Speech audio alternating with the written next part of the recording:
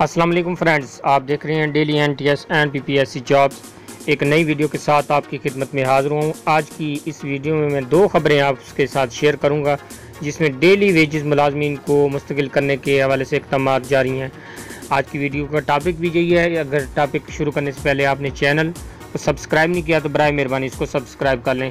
پہلی خبر M C کے ڈیلی ویجز ملازمین کو مستقل کرنے کے لیے اقدامات جاری سرگودا سے خبر ہے۔ میونسپل کارپوریشن سرگودا کے درجنوں ڈیلی ویجز ملازمین کو مستقل کرنے کے لیے سمری وزارت بلدیات کو روانہ کی جا رہی ہے۔ ذرائع کے مطابق میونسپل کارپوریشن سرگودا میں پانچ پانچ سال سے متعدد سینیٹری ورکر اور دیگر عملہ ڈیلی ویجز پر کام کر رہا ہے، جنہیں تاحال مستقل نہیں کیا گیا، جس کی وجہ سے ڈیلی ویجز ملازمین پریشان ہیں۔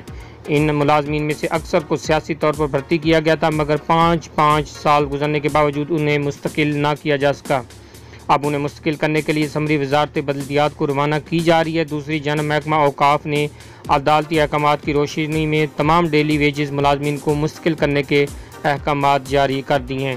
دوسری خبر بھی اسی طرح کی ہے، جو کہ قومی اخبار میں آئی ہے، نابینا افراد کو ڈیلی ویجز سے کانٹریکٹ پر منتقل کرنے کی منظوری دے دی گئی ہے لاہور سے۔ وزیر اعلیٰ پنجاب نے نابینا افراد کو ڈیلی ویجز سے کانٹریکٹ پر منتقل کرنے کی منظوری دے دی ہے۔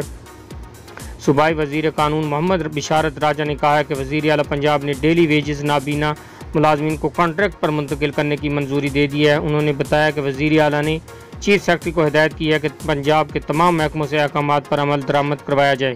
بشارت راجہ نے کہا کہ صدار عثمان بزدار کی قیادت میں تحریک انصاف کی حکومت ہر طبقے کی بہبود کے لیے ٹھوس اقدامات کر رہی ہے۔ یہ تھی اب تک کی تازہ ترین امید، آپ لوگوں کو ضرور پسند آئے گی۔ پسند آنے پر پھر لائک، شیئر اور سبسکرائب ضرور کیجیے گا۔ آپ کا بہت بہت شکریہ۔